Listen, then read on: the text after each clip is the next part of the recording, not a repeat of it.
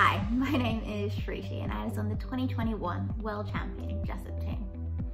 In this video, I'll be explaining how to deliver appearances. First, what are appearances?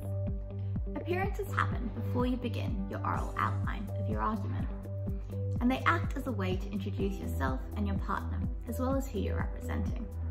They're a great way to make a fabulous first impression on the bench and shouldn't take longer than a minute at most.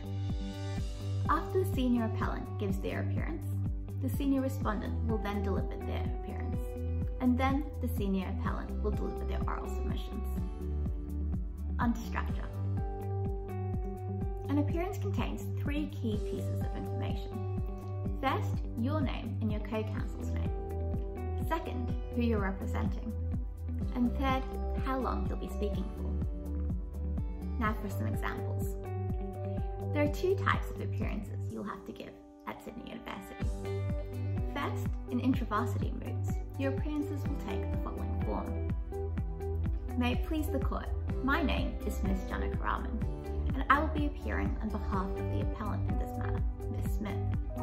I will be joined by my co-counsel, Miss Joe. Will be speaking for 15 minutes, and my co-counsel for a further 15 minutes. The second type of appearance happens in intravarsity moots, where you might have to allocate time for a rebuttal.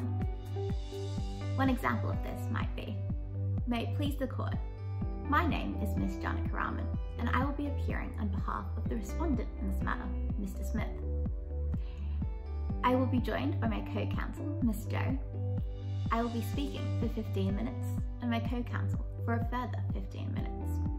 We respectfully reserve two minutes for rebuttal. Top tip. You should aim to memorize your appearance so that you can deliver it more confidently. Thank you for following along. You can see further examples of appearances in the competition handbook on the SULS website. Please see the next video on how to moot part 3, oral advocacy, which will be up on the YouTube page on the SULS website. Bye!